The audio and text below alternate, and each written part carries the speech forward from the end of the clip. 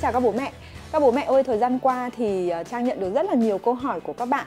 uh, với những cái thắc mắc xung quanh việc học tiếng Anh cùng con, làm thế nào để có thể hỗ trợ con và học cùng con một cách hiệu quả nhất. Và ngày hôm nay thì mình rất là vui sẽ được chia sẻ với các bạn những cái kinh nghiệm mà mình tích lũy được qua việc đồng hành với ba bạn nhỏ nhà mình, bạn Daisy 6 tuổi, bạn bánh mì 3 tuổi và bạn Bơ 1 tuổi xung quanh việc học tiếng Anh và hỗ trợ các bạn ấy trong việc học tiếng Anh ở nhà.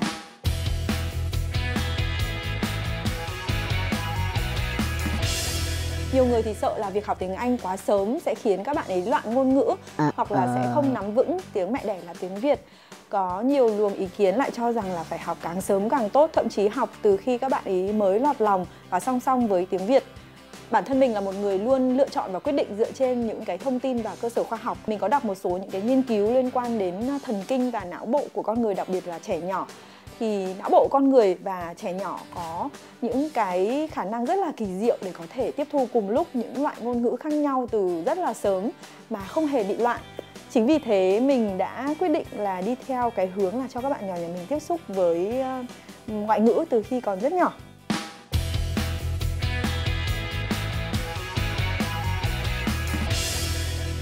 Mình xin khẳng định luôn là việc bố mẹ không biết tiếng Anh hoặc không giỏi tiếng Anh vẫn hoàn toàn có thể học và hỗ trợ cùng con trong quá trình con học ừ, ngoại ngữ, đặc biệt là tiếng Anh. Bởi vì bây giờ thì à, công nghệ cũng như là mạng internet cũng như là những cái công cụ bổ trợ cho việc học tiếng Anh đã rất là phát triển rồi.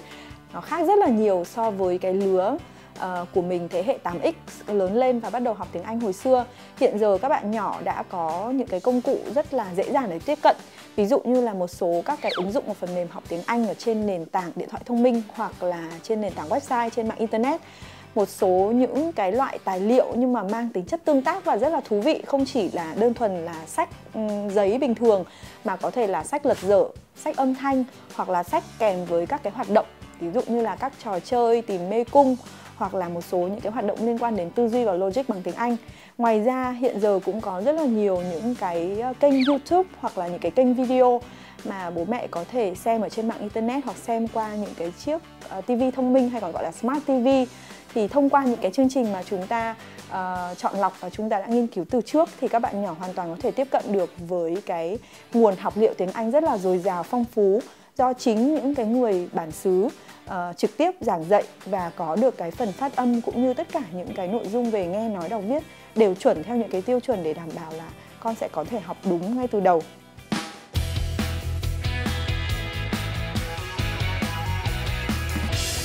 Một cách rất đơn giản là mình nghĩ bố mẹ nào dù biết hay không biết tiếng Anh đều có thể làm được. À, khi mà mình có trong tay một cái cuốn sách hoặc là một cuốn từ điển à, Anh Việt đấy là mình hay từ vựng hóa những cái đồ đạc xung quanh và quen thuộc với các bạn nhỏ ở trong gia đình thôi. À, cách của mình làm là mình sẽ viết tên của cái từ đó lên trên một cái tờ giấy bìa một cái cỡ khá là to đủ để các bạn nhìn thấy một cách rõ ràng và sau đó dán lên từng cái đồ vật đó. Ví dụ như là mình sẽ viết chữ fridge dán lên tủ lạnh, viết chữ TV và dán lên cái TV và đây cũng là một cái cách rất là tuyệt vời để các bạn nhỏ học bằng cách chụp hình và ghi nhớ cái cách viết của những cái từ đó.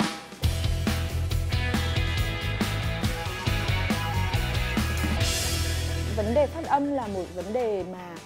sẽ chỉ có thể rèn luyện thông qua luyện tập và luyện tập đúng cách mà thôi. Nên lời khuyên của mình dành cho các bạn đấy là hãy tìm và lựa chọn những cái nguồn học liệu uh, có cái phần phát âm chuẩn để mình cùng đồng hành với cả con. Thì uh, vấn đề phát âm thì mình thấy có hai xu hướng đấy là phát âm chuẩn anh anh và phát âm chuẩn anh mỹ.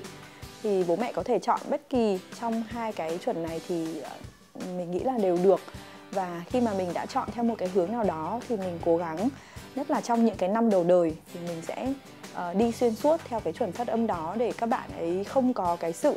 uh, phân biệt cũng như là gặp khó khăn gì trong việc luyện phát âm. Nếu mà bố mẹ nào vẫn còn đang bối rối trong việc tìm một cái nguồn học liệu với phần phát âm chuẩn uh, ngôn ngữ tiếng Anh của người bản xứ thì mình có một gợi ý rất là đơn giản rất là thú vị và hoàn toàn miễn phí đó chính là theo dõi kênh YouTube của VTV7 Kids và đặc biệt là chương trình 5 từ mới tiếng Anh mỗi ngày. Đây là một chương trình mà cái cách thể hiện cho đến người hướng dẫn và những nội dung được truyền tải trong đó không chỉ đơn giản, dễ nhớ, dễ hiểu cho cả người lớn lẫn trẻ nhỏ và đặc biệt là phần phát âm thì chuẩn 100% do những giáo viên đến từ uh, những trung tâm đào tạo Anh ngữ rất là có uy tín và có chuẩn phát âm của người bản xứ thực hiện.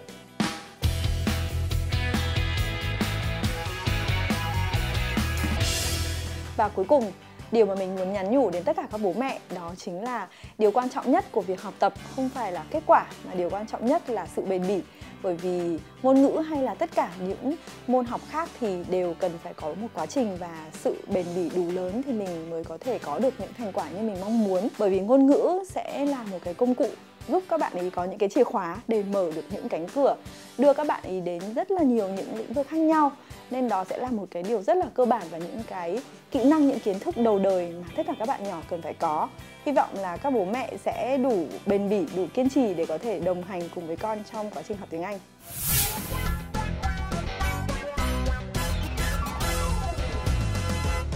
Hi everyone, welcome to 5 new English words every day.